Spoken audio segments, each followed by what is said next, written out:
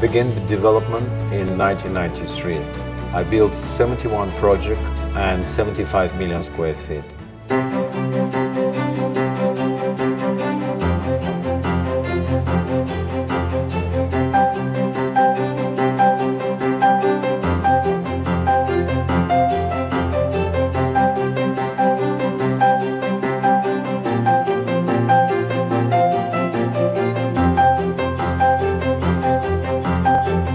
Sony Bay is the last site on the water and very good location, close to Design District, Wynwood, 12 minutes from the airport. So basically, it became a very great place to live, great to raise a family, safe, secure, and very good place to invest your money.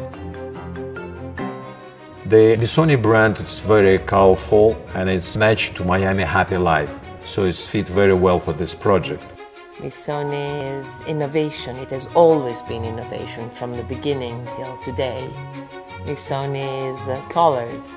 Missoni is creativity. Missoni is design. Missoni is fashion. I love to have uh, the family around me. I love to have all my friends. And I'd like to create uh, ambience uh, and uh, atmosphere where everybody feels at ease.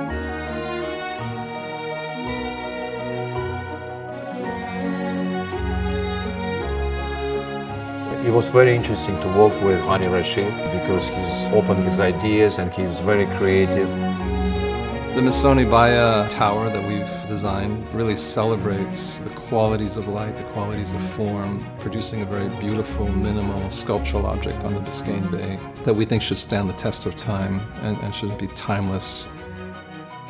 We should think of these apartments as villas in the sky because the building innovates at the level of human experience. There is a sense of being in another place, in a, in a very pure place, calmness and serenity and being at home.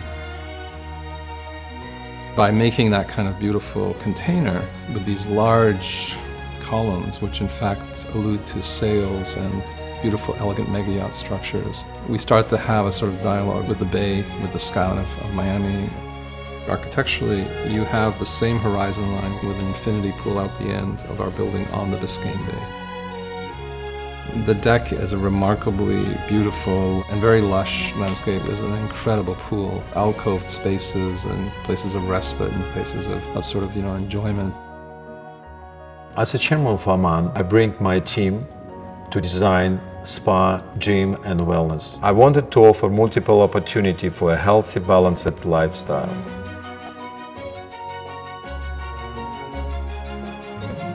There's a kind of allure that draws you in um, and then sort of keeps you there. And it's a little bit like, like reading a good book or watching a great film or listening to a great piece of music. And this is really a testament to Vlad Doronin's inspiration. Our goal is to create beautiful environments where people can experience an harmonious life with family and friends.